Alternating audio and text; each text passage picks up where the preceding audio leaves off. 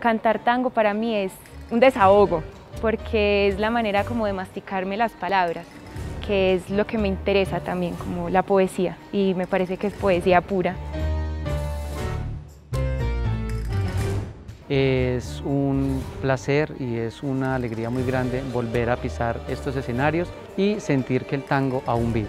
Cada año es un reto para, para mejorar, para mejorar, para crecer como artista, crecer como intérprete, crecer como humano. Decirle a todos los participantes que sigan adelante, que sigan creciendo, que independiente del resultado, como nosotros también lo vivimos, creo que era la oportunidad de seguir estudiando, de seguir creciendo, de seguir investigando para poder llegar a ese, a ese gran objetivo que es el primer puesto.